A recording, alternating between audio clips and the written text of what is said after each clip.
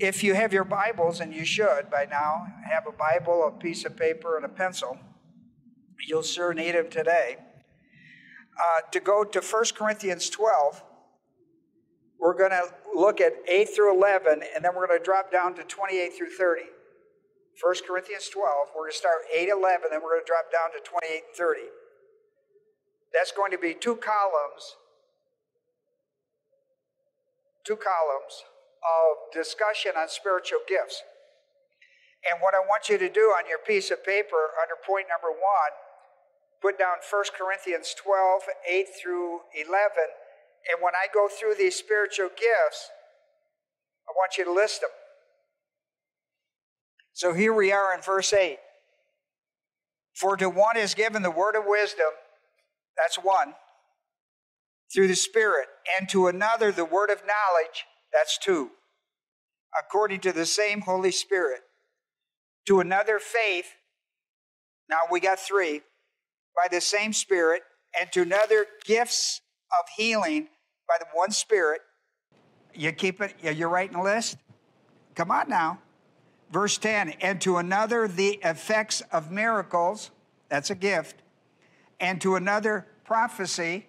Are you writing them down? Come on now. And to another the distinguishing of spirits, that's a gift. To another various kinds of tongues, and to another the interpretation of tongues. Now, by now you're abbreviating, right? Because they're written in the scripture, so I just want you to list them and abbreviate them. Now count them.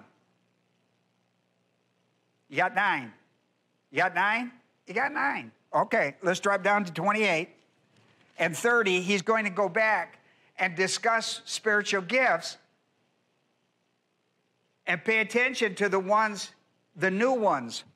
Here's verse 28. God has appointed in the church first apostles. It's a new one. And second prophets.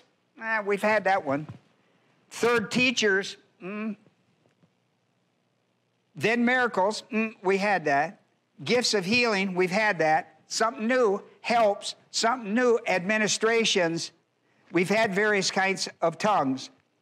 Then he says apostles are all apostles? Are they? No. Are all prophets? No. Are all not teachers? Mm, no. Are all not workers of miracles? Mm-mm. Do all have the same gifts of tongue? No. Do they speak with uh, uh, gifts of healing? Do they speak with tongues? Mm-mm. You see, an, an interpretation. You see, there's another list there. There's another list. Some of them weren't in the first listing. Did you write those down? That's column number two. The first column of gifts listed were in 8 through 11. The second column was 28 through 30. We have 1, 2, 3, 4, 5, 6, 7, 8, 9 listed. But how many were repeated? We'll come back to that. Now, you're going to have to do some studying with me today. You're going to have to work on this stuff because what I want to do today in today's lesson, lesson is to get, and we're going to examine three major passages on spiritual gifts 1 Corinthians 12, Romans 12, Ephesians 4. We're going to list all the gifts, we're going to see the ones that are repeated, and then we're going to come up with a corrected list of spiritual gifts in the church. That's today's lesson. It's very important that you do this. I mean, all right, let's have a word of prayer. Remember, the Bible is a spiritual book for spiritual people, for spiritual living. Can't learn it nor live it in carnality. Evidence of carnality in the Christian life is personal sin, mental attitude type, sins of the tongue, overt sins. What must I do to get back into the indwelling ministry of the Holy Spirit called spirituality? I've got to confess my sins. When I, when I do, it takes me to the cross of Jesus Christ as a believer out of 1 John 1 9. If we confess our sins, he is faithful and just to forgive us and cleanse us. The cleansing comes from the work of Christ on the cross to the Christian life for sanctification, not salvation. For that indwelling ministry of the Holy Spirit. Out of carnality, stop walking in the flesh, Galatians 5 16, 17. Stop walking in the flesh. Start walking in the Holy Spirit. Flesh, walking in the flesh is where carnality comes from. And that's personal sin. You got to confess it, be cleansed in order for sanctification, not salvation. So let's do this. And then let's get into the morning study. All right, let's get into the morning study. I'm giving you a moment for you to personally confess your own sins to the Father in the name of Jesus for cleansing for spirituality under sanctification. So, our Father, we thank you today for all that you've provided for us through the Word of God under the ministry of the Holy Spirit who teaches and recalls, who guides us, who discloses, who brings witness to our soul of Christ, who brings conviction out of the Word of God. I pray, Father, the Holy Spirit would have a full sway in our hearts today because we have confessed our sins. We come looking for the Holy Spirit to teach us great truths on regard to spiritual gifts. The first begins with a clear examination of them. In Jesus' name, amen. Now, under point number one, we already started, but here's point number one. I want to begin by examining the three major passages 1 Corinthians 12, Romans 12, and Ephesians 4. Where all of the listings of spiritual gifts are under the new covenant church age. We want to be able to correct, correctly count them, eliminate the ones that are, have been repeated, so that we come up with a correct identification and number of spiritual gifts for the church. Now, I know you probably don't have a study guide. Later, you can go to our website and pick it up. But I've got three, three passages. There are three passages Romans, uh, 1 Corinthians 12, Romans 12, and Ephesians 4. There are four columns. In column one, we've got spiritual gifts listed in 1 Corinthians 12, 8 through 11, which you put on your paper. Beneath it is column 2, 1 Corinthians 12, 28 through 30, where you made another list when Paul came back and talked about him, and you found some that hadn't been mentioned before. When you go to Romans, the 12th chapter, verses 6 through, 6 through 8, he makes a list Paul gives a list of spiritual gifts. When you go to Ephesians, the fourth chapter, 11 and 12, he makes a list of spiritual gifts. These are the three passages in the New Testament where spiritual gifts are listed. Our purpose today is to identify all of the gifts and to eliminate from the different, from eh, 1 Corinthians 12, Romans 12 and Ephesians 4, the ones that are repeated, so that we can get an accurate count of the ones of all the spiritual gifts for the church. Spiritual gifts are for the body of Christ, the church. 1 Corinthians 12, Romans 12, Ephesians 4, they all teach that. Now, when we did our introduction, we did column one and column two in Corinthians. Corinthians, the 12th chapter, 8 through 11, we identified the word of wisdom, the word of knowledge, faith, the gift of healings, the gifts of healing, the effects of miracles, prophecy, distinguishing spirits, which goes with prophecy, various kinds of tongues, and interpretation of tongues, which go together. In verses, you wrote those down. Abbreviate them, do something because we're going that's going to be our standard from which we're going to now look to see what we, what we don't have there and what's repeated. When we go to 1 Corinthians 12, 28 through 30, we have listed apostle, prophet, teachers, workers of miracles, gifts of healing, helps, administration, speak with tongues, and interpretation of tongues. So we have one, two, three, four. In the first column, we have nine. In the second column, listed, we have one, two, three, four, five, six, seven, eight, nine. However, you will notice that prophets have already been listed in 1 Corinthians 12 11, so we can scratch it off in 28.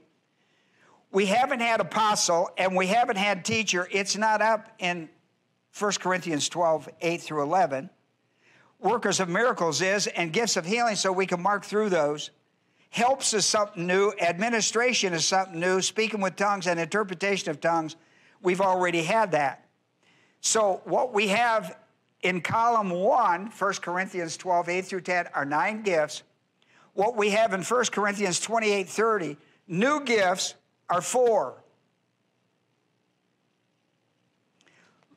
Here's my point number two. Here's point number two. We began by the first column of 1 Corinthians 12, 8 through 11, by accepting the nine gifts listed. When we went to, when, when we, when we went to column two, we could eliminate five gifts we eliminated prophets, workers of miracles, gifts of healing, speaking with tongues, and interpretation of tongues because they were listed in column one.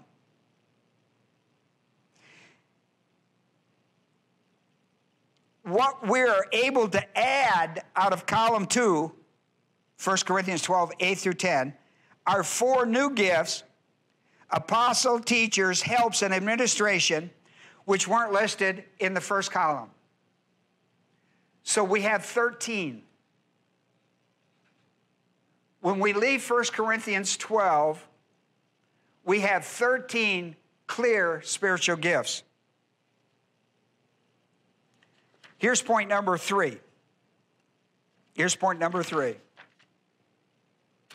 When we go to column three, which is Romans 12, 6 through 8, and we look at the gifts prophecy, service, i.e., ministry, teachers, exhort, giving, leads, and mercy, we look to see if any are repeated that come out of column one or two. Prophecy could be eliminated because it's already been mentioned as a gift. We will add service ministry. Teacher has already been listed. New gifts are exhort, gives, leads, and mercy. New gifts. So in Romans, the 12th chapter, verses 6 through 8, we've eliminated two and added five.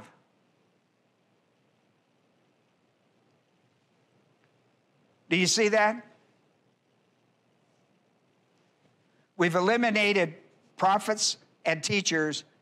We've added service ministries, exhorts, it gives, leads, and mercy. So that's five. Five additional gifts added to 13 gives us 18. Point number four. Now we go to the fourth column, Ephesians 4 11 through 12.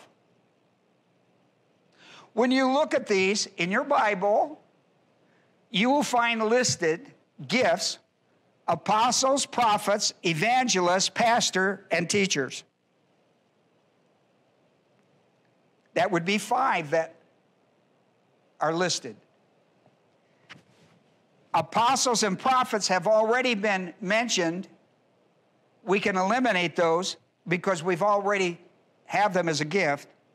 We can add evangelists, pastor, and teachers. we can eliminate teachers because we already had that. So in Ephesians 4 through 12, we have two gifts evangelist and pastors. Are you with me? That makes 20 gifts. But we have a problem. And this is point number five. You should have 20 gifts that haven't been el- eliminated.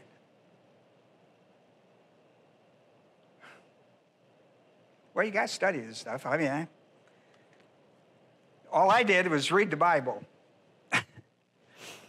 so you got to do this stuff. Now, here's the problem, and I'm going to clear this problem up. This is point number five. When I get through with this, we're done with today's lesson because you've got to do your study. I mean, you got to go back and do all this stuff that I just told you to do. Don't be lazy, study your Bible. In Ephesians 4 11 and 12, it presents a problem because they list pastor along with the gifts apostles, prophet, evangelists, pastors, and teachers. Not one time have we, never have we found the gift called pastor in any other section of listing of gifts. We have not seen this word pastor ever. In the Greek language, it's poimen, P O I M E N. It is usually translated in the English as shepherd. Write that down. My, my, my. This is what we call this class. This is Bible class.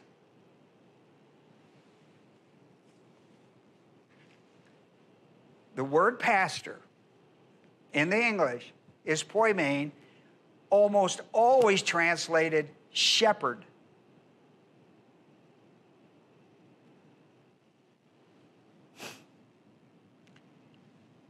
It is never listed anywhere with spiritual gifts except in Ephesians 4 11 and 12.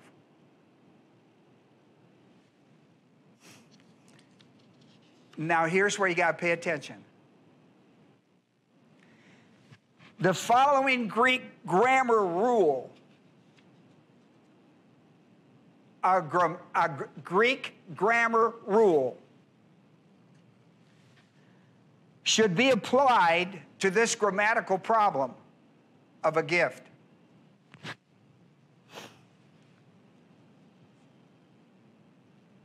The Greek grammar says this When two nouns, pastor and teacher, when two nouns with the same case ending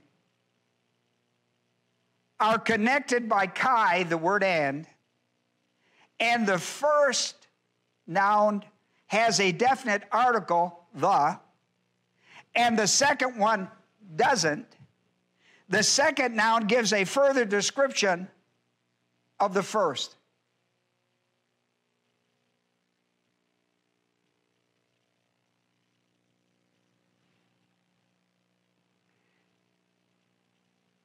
Uh, one more time. when two nouns with the same case ending are connected by kai, the word and, and the first has a definite article, the, and the second one doesn't, the second noun gives a further description of the first.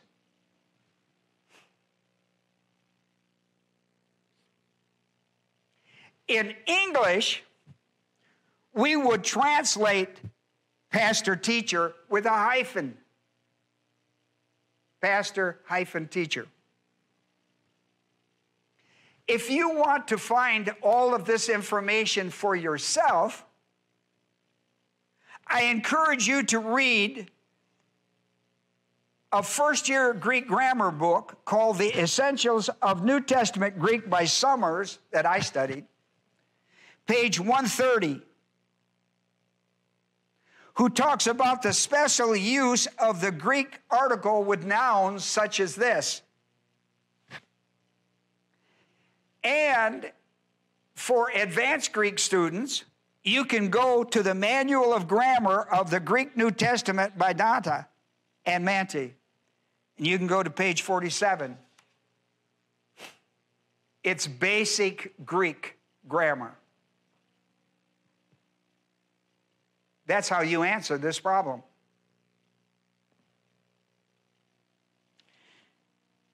Teacher is the spiritual gift, pastored or shepherd is the office of a local church congregation.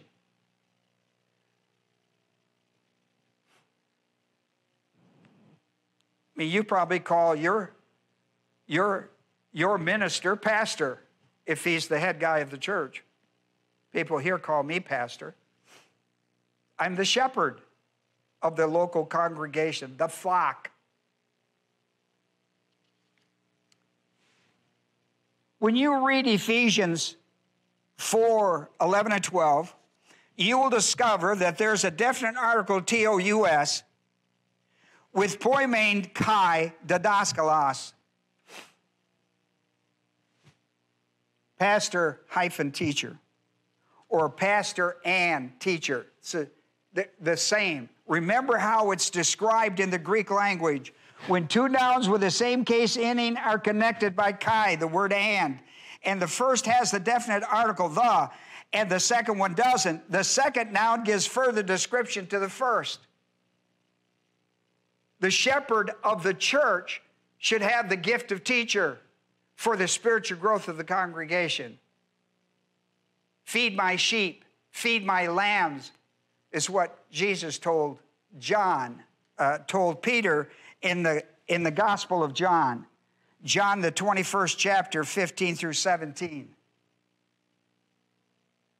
In 1 Peter 5 2, 2 and 3. 1 Peter 5 2 and 3. Shepherds, that's the word poimen, pastors.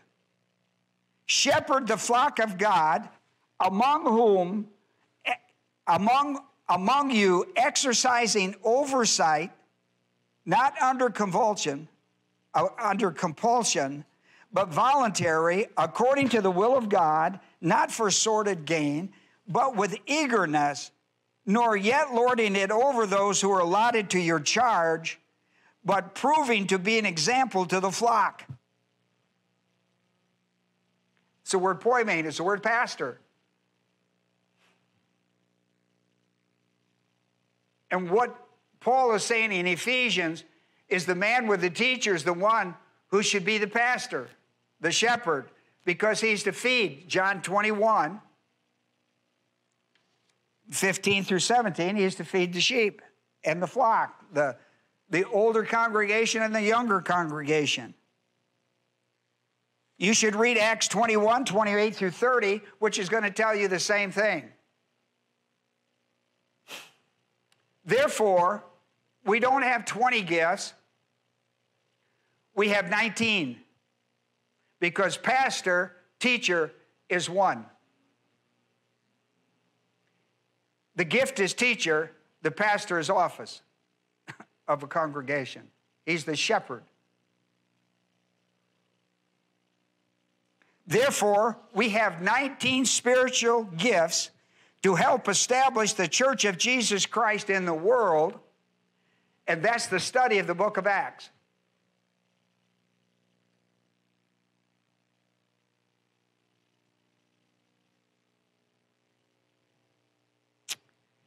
Now, you really need to study this. In our School of Biblical Theology, we have just started a new quarter that's taught every second and fourth Saturdays in this church. To anybody who wants to attend, it costs you nothing. It's supported by grace within our church.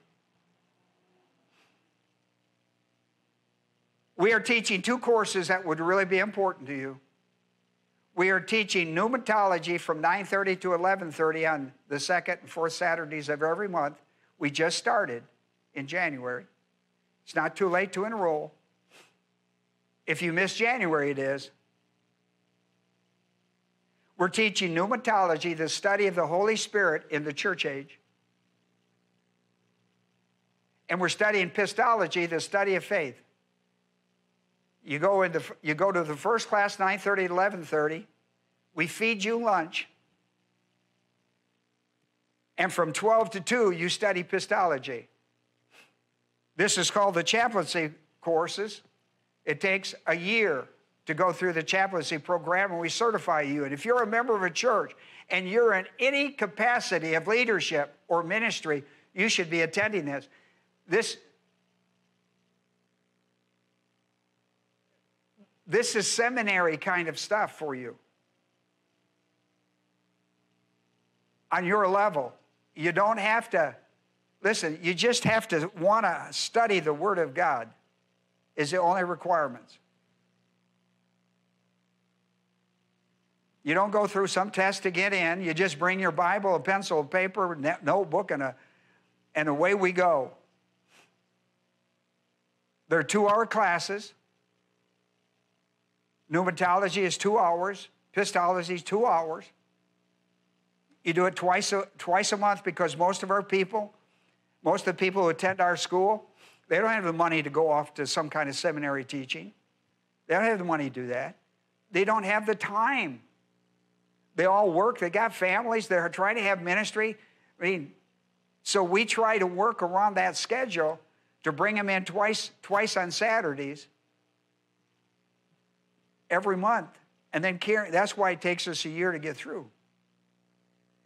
If you graduate from the chaplaincy program, you can apply that to go through our, our, our theological seminary where you study the Greek language and Hebrew and other courses. Uh, but, you know, you don't have to, but if you want to, you could. So let me encourage you to do that. Because we're through with our study today. I want you to identify 19 gifts and understand why there are 19 and not 20. And then when we come back next week, having looked at all these, we're going to begin to do a study on this. How, how do these gifts work?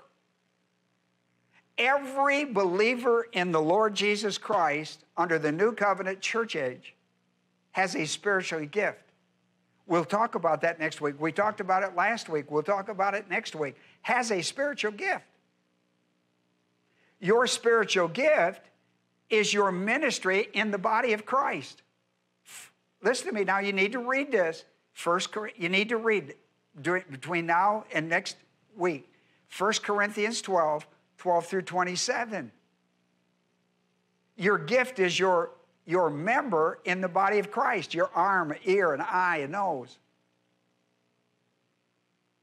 There are no ungifted believers in the church.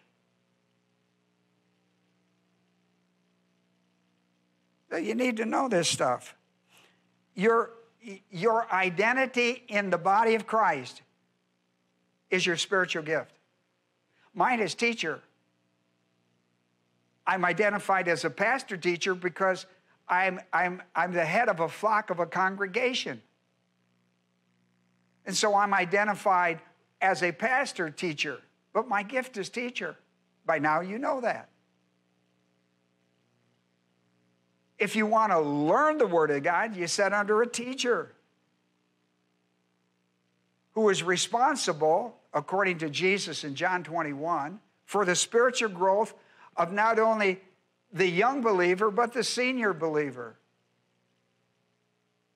in his spiritual growth maturity. Let's close in prayer. Our Heavenly Father, we thank you today that these that have come our way by the internet that want to understand what is their what is their purpose or meaning in the church it is their spiritual gift the arm doesn't serve the arm, it serves the body. The ear doesn't serve the ear, it serves the body. It brings hearing to the body. The eye is not for the eye, it is to bring sight to the body. We need to understand these kind of principles.